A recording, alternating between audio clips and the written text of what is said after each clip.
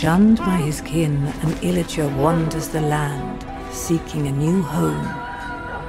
But all he found was hatred.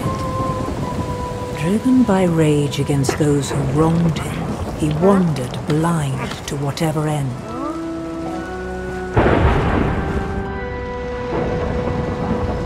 Until at long last, the Illager found something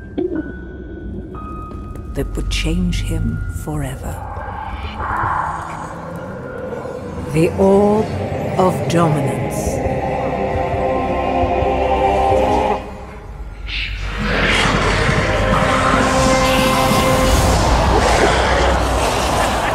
Corrupted by evil, driven by vengeance, the Arch-Illager made all bow before him. And if they did not bow, they would fall.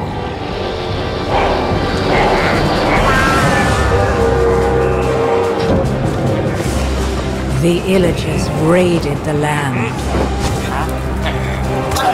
Who would have the valor, the purity of heart, to stand against the Arch-Illager's reign of terror?